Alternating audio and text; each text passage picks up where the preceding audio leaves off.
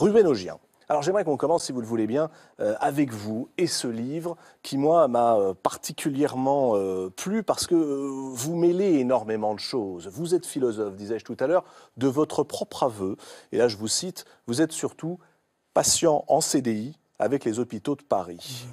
On voit hein, toute l'autodérision et l'humour que vous glissez dans ces mille et une nuits, livre formidable dans lequel vous démolissez aussi euh, quelques idées reçues, pourtant bien ancrées aujourd'hui. Le mythe, par exemple, de l'amélioration de soi-même par la souffrance. Vous combattez ce que vous appelez, ce qu'on appelle le dolorisme, c'est-à-dire cette idée hein, selon laquelle bah, finalement la valeur euh, euh, réelle serait peut-être de souffrir un petit peu.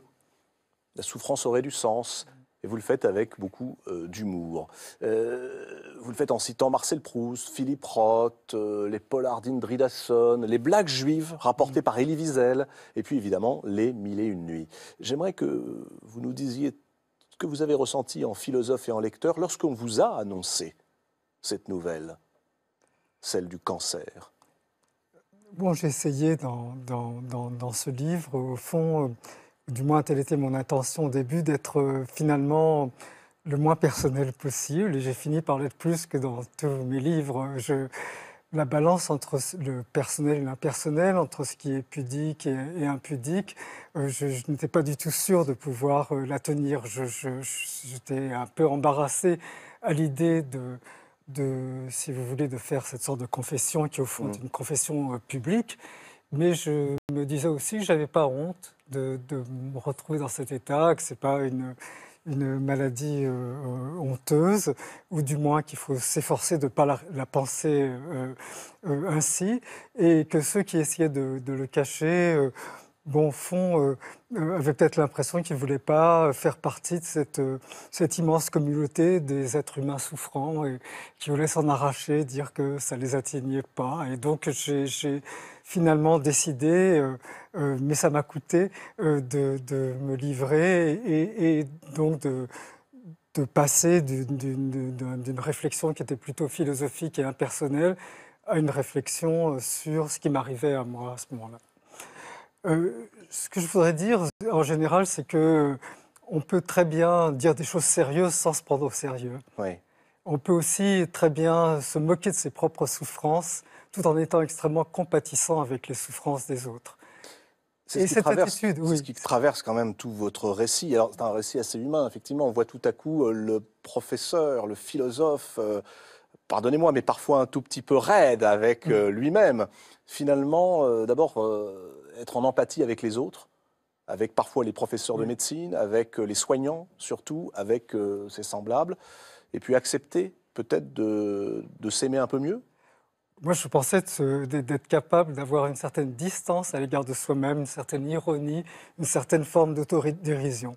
Ça explique aussi pourquoi, finalement, j'ai abandonné euh, la réflexion sur les textes philosophiques, parce que je n'ai pas trouvé beaucoup de dérision dans ces textes. En revanche, je l'ai trouvé dans la littérature, et tous les textes que vous avez cités tout à l'heure, euh, Proust y compris, bien sûr, sont capables de faire preuve de cette autodérision. Je pense à, Fritz Zorn et à Mars. Et, donc, euh, c'est devenu une source pour moi beaucoup plus importante parce que euh, dans les textes philosophiques, il y a une forme de sérieux, d'esprit de sérieux, et de croire que si on n'a pas cet esprit de sérieux, alors on ne peut pas dire des choses importantes et des choses euh, euh, qui sont vitales aussi. Alors c'est passionnant parce que vous dites justement, finalement, c'est dans la littérature, presque chez les romanciers. Fritz Zahn, Mars, c'était le grand texte de la fin des années 70 sur le cancer, des premiers à en parler. Euh, vous citez Hervé Guibert également, Le pavillon des cancéreux hein, d'Alexandre Solzhenitsyn, tout ça, ce sont des livres qui ne sont pas écrits par des spécialistes. La, littérature, Christophe André, le pouvoir des mots, a peut-être plus à nous dire que le pouvoir des experts quand il s'agit de raconter cela oui, c'est la suprématie en général de tout ce qu'on appelle les, approches expérientielles sur le savoir, la description, le, fait de regarder ça de loin. Le, livre de Revenogienne, et moi je l'ai commencé, je n'ai pas pu le lâcher parce qu'il mêle avec beaucoup d'intelligence et beaucoup de force justement mmh. l'expérience personnelle et puis le souci très, j'allais dire, très scientifique de référencer toutes les citations, toutes les assertions. Mais c'est vrai qu'il m'a aussi bouleversé parce qu'à certains moments, euh, il y a des scènes très touchantes, très déstabilisantes. par exemple, quand les, soignants font preuve d'une grande gentillesse avec vous et où ça vous inquiète presque, ça vous désole. Et, pour un médecin, c'est déchirant de voir que finalement la gentillesse que nous tentons d'offrir à certains patients peut avoir un effet, j'ose pas dire contre-productif, mais euh, déstabilisant pour le patient. Ce passage, je vous avoue, ça m'a. Je me suis arrêté un peu et je me suis dit, mais comment, comment ça a pu se passer pour lui, ce moment où on lui donne et où il n'arrive pas à recevoir Je ne sais pas si vous voyez de quel passage quel passage j'évoque. Et, c'est vrai que pour un médecin, c'est une lecture extraordinaire. Sincèrement, moi, je me suis régalé, comme on dit dans le sud-ouest. Ah, merci. Ce genre de, passages sont, sont, liés aussi à, au, point peut-être euh, euh, principal que j'essaie de développer euh, et qui m'a donné envie de lui donner le titre de Mes mille et nuits. en empruntant cette image de Sherazade, mmh. qui est obligé, pour continuer à vivre, de séduire le, roi en lui racontant des histoires sans lui livrer la clé à chaque fois pour avoir un jour de plus. Bon, moi, ça correspondait à peu près euh, à mes journées de, thérapie. Et euh, je, voulais que les. Enfin, si j'avais un but, je ne suis pas sûr du tout d'en avoir eu un, c'était de, montrer cet aspect euh, du point de vue du patient qui d'une certaine façon, a toujours cette espèce de, suspicion, cette crainte que sa vie dépende entièrement des décisions de, de quelqu'un d'autre, des décisions qui, qui, qui, sont prises chaque jour. Et chacune de nos journées est une journée de sursis euh, en plus. Donc, euh, euh, il, est sûr qu'il y, y, a un point de vue. Alors, je suis très touché par ce que vous dites, vraiment, ça m'émeut beaucoup.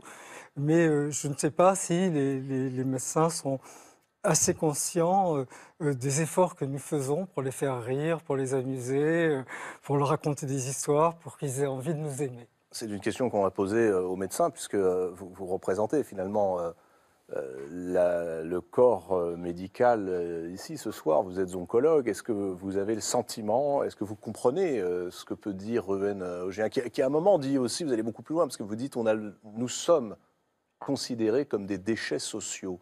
Est-ce que les professeurs de médecine le comprennent? Oui, bah, d'une part, euh, euh, c'était très frappant de lire. Euh, j'étais vraiment très intéressée parce que c'est une occasion rare de, voir comment la situation de maladie est perçue par une personne extrêmement cultivée qui peut analyser beaucoup d'aspects. Et, donc, j'ai apprécié cet aspect, mais un point m'a frappé tout particulièrement, peut-être parce que je suis médecin, c'est de percevoir la douleur. Euh, parce que finalement, c'est un peu ce que je raconte dans l'histoire Mon patient zéro, mm. et c'est l'aventure de, de l'homme qui se trouve un peu à la fin de son histoire. Et ça, c'est extrêmement douloureux. Alors, dans les cas que je raconte, euh, en fait, c'était euh, une panique totale, c'est-à-dire la perte de toute capacité dans mon patient. De, le patient zéro, hein, c'est celui qui va vous donner envie de devenir celle que vous êtes aujourd'hui, c'est-à-dire un grand professeur de médecine qui lutte contre le cancer. Voilà, oui, mais mon patient, euh, voilà, luttait contre sa maladie et, donc il a, il a, perdu très rapidement la bataille, ce qui m'a bouleversée. Euh, cet aspect de l'être humain qui est face à la mort m'intéresse énormément. Euh, parce que il y a différents aspects. D'une part, c'est vrai que j'ai vu dans ma pratique que quand il n'y a pas une sorte de possibilité de s'agripper, que ce soit à la religion, à un espoir ou à, autre chose que la fin de soi-même, il y a une douleur qui est vraiment aiguë. Euh, ça, je l'ai observé évidemment. Mais de l'autre côté, comme scientifique, euh, je dois dire que quelque part, euh, il faut avoir le doute, à mon avis, parce que quand j'observe le monde dans sens général, j'observe qu'on ne comprend pas tout. Euh, du monde. Et d'ailleurs, les physiciens discutent des différents aspects. On ne comprend pas tout de la réalité qui nous entoure.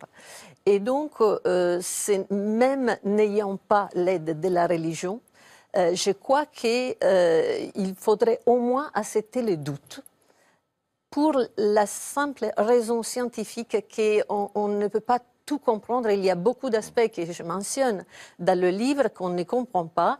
Et, donc, on, ne sait pas vraiment si tout s'est terminé. Oui, bien sûr, euh, tout ce qui est euh, chair, matière, se dégrade, mais est-ce que tout ce qui nous sommes, est-ce que la réalité que nous voyons est la seule qui existe? Ça, on ne le sait pas. Et ce sont les questions finalement que vous posez, tout en disant, attention, le philosophe, quand il est malade, ne se pose pas ce genre de questions. Euh, des questions beaucoup plus terre à terre. Oui, bien sûr. Le, titre initial du livre, c'était La maladie sans métaphysique. C'est-à-dire que j'essayais de voir comment nous pouvons réfléchir à la maladie sans essayer de lui chercher un sens, une signification, soit celle d'un châtiment divin ou autre, ou non plus sans essayer de, nous dire s'il y a un au-delà, s'il y a quelque chose après. Mm, mm. Comment faisons-nous? Et, en réalité, quand on se retrouve pris euh, dans la maladie, mm, euh, en effet, les questions métaphysiques nous semblent pas tellement intéressante. Et plutôt que de nous demander quel est le sens de ma maladie, on se demande est-ce que j'ai bien pris mes pilules ce matin? Euh, euh, Est-ce que je n'ai pas oublié? Euh, Je dois aller à tel ou tel rendez-vous. On devient une sorte de malade professionnel. C'est pour ça que je parlais de, de, de CDI et de, de, notre emploi du temps. Bah, vous dites, de temps, vous dites j'aurais bien aimé être licencié tout de même. mais, mais ça, ça, si vous voulez, c'est aussi quelque chose qui, qui, qui, qui m'importe. C'est que nous débarrasser de toutes ces questions euh, métaphysiques, ça nous permet de nous retourner vers nous-mêmes avec un peu d'ironie, et même euh, dans ce genre de situation. Mm. Et disons que ce serait la thérapie que je préconiserais euh, l'ironie. dans ces cas. Oui, l'ironie à l'égard de soi-même. C'est très important pour moi de, de, de, de, moquer de mes propres souffrances, mais d'être extrêmement compatissant à l'égard de celles des autres. Est-ce qu'il n'y a pas aussi la volonté, Ruben Ogien, de balayer un certain nombre d'idées très solidement ancrées aujourd'hui. Parce que ce qui m'a beaucoup frappé, c'est cette charge euh, menée tambour battant et avec un style éclatant de hussard contre le dolorisme. Alors le dolorisme, c'est cette phrase hein, qu'on a tous prononcée, je pense au moins une fois dans notre vie, et même encore aujourd'hui. Ce qui ne nous tue pas nous rend plus forts. Vous dites cette phrase, alors là, elle m'agace au plus haut point. Pour quelle raison vous agace-t-elle? Bon, le, le, dolorisme est une une, idéologie hein, qui a eu son heure de gloire avant euh, la mm. Deuxième Guerre mondiale. Et c'est cette idée que la maladie peut nous rendre plus intelligents et meilleurs moralement. L'idée qu'elle nous donne une sorte d'avantage euh, parce qu'elle nous rend plus lucides sur nous-mêmes. Elle nous permet de mieux connaître la condition humaine et que d'autre part, ayant vécu nous-mêmes dans une certaine forme de souffrance, nous sommes plus empathiques, plus compatissants et plus capables de comprendre celle d'autrui. Et ces deux idées, l'idée que... Et, cette idée-là, que vous venez magnifiquement de, dénoncer, euh, ne vous convainc pas? Je, pense qu'en tant que généralité, il est absurde de, prétendre que c'est toujours le cas. Il est possible que ce soit le cas parfois, mais dire qu'en général, la souffrance nous rend meilleurs, à quelque chose, malheur est bon, ainsi d'ailleurs que l'idée qui en est dérivée de résilience, sont des idées qui me paraissent confuses. Euh, parce qu'elles ont cet arrière-plan euh, doloriste. Il faut dire aussi qu'aujourd'hui, le dolorisme n'est pas simplement euh, une, idéologie qui est développée dans le monde de la maladie, c'est aussi une idéologie politique qu'on voit appliquer comme une critique de nos sociétés dans lesquelles on n'a plus le sens du sacrifice, le sens de la souffrance, dans lesquelles les personnes sont des consommateurs hyper individualistes, attachés à leur plaisir immédiat. Et cette idée, euh, elle favorise les tendances autoritaires, euh, paternalistes, et je trouve qu'elles sont dangereuses politiquement aussi. Christophe André. Euh, bah, en, tant que médecin, j'ai toujours également détesté cette formule, qui a quelque chose d'agressif, de décourageant parfois pour les patients qui n'arrivent pas à se mobiliser et, qui, effectivement, comme toutes les généralités, pose un nombre incroyable de problèmes. Mais, à vous lire, pourtant, Christophe André, j'ai parfois le sentiment que vous dites la maladie peut nous aider à mieux nous connaître. Alors, ça, c'est À quelles conditions? Oui, oui la maladie, c'est une contrainte. C'est-à-dire, ça nous ça attire notre attention sur notre corps, sur les dysfonctionnements de notre corps. Donc, comme toutes les contraintes, elle peut être destructrice, appauvrissante ou elle peut être féconde. Mais euh, je ne sais plus dans lequel de mes bouquins, j'ai moi aussi chargé cette, phrase en, lui récusant toute valeur de généralité. Elle me paraît plus stressante qu'encourageante. Et elle n'est absolument pas présente hein, dans les 40 euh, ah phrases euh, que vous nous proposez pour commencer une méditation. Pascal Quignard, je me souviens que vous aviez publié il y a maintenant 4 ans un très beau livre, Les Désarçonnés. Et ce que j'avais adoré dans ce livre, c'est que vous nous disiez pour pouvoir penser, il faut tomber de cheval, il faut être désarçonné. Euh, c'est peut-être pas du dolorisme, mais en tout cas, euh, vous défendiez cette idée que Montaigne, Agrippa d'Aubigné, euh, même Saint Paul de Tarse ont eu besoin de tomber de cheval, d'être malades, pour pouvoir se relever et se mettre à écrire et à penser. Ça n'est pas du dolorisme, en effet, mais c'est vrai que des désynchronisations dans notre expérience sont des choses extraordinairement profitables. Et puis, il y a un dolorisme merveilleux et pervers qui est le masochisme, et qui là, directement, veut faire une souffrance, une jouissance. Et là, c'est beaucoup plus habile c'est beaucoup plus compliqué. C'est vrai que... Pour le masochisme, je serais d'accord avec vous. Voilà. Euh, vous posez euh, une question, Ruben qui est euh, capitale, autour d'ailleurs la question du choix, du choix personnel, en allant tout simplement chercher Hume et cette justification qui date quand même du XVIIIe siècle du suicide volontaire et qui revient, écrivez-vous aussi, à accepter de se poser cette question qu'est-ce qui compte le plus La qualité de la vie ou sa durée? Qu'est-ce qui compte le plus? Aujourd'hui, c'est une question que, que tous les, enfin, tous ceux qui se retrouvent dans ce genre de situation, ainsi que le personnel soignant, se posent. Il y a euh, cette idée de rapport entre la quantité et la, qualité. Alors j'ai essayé de la rendre plus concrète mmh. en, en, disant combien est-ce que je serais prêt, par exemple, pour avoir 15 jours de plus, à, dépenser tout ce que j'ai euh, en banque au lieu de le donner à mes enfants, etc. Donc il y, a des situations dans lesquelles on se rend compte que le dilemme n'est pas si abstrait que ça. ça peut être vraiment une, question qu'on peut se poser. Mais je ne tranche pas, je ne dis pas que la, qualité de, de, vie doit être préférable à la quantité. J'avais juste envie de poser la question et de montrer que c'était une question sérieuse.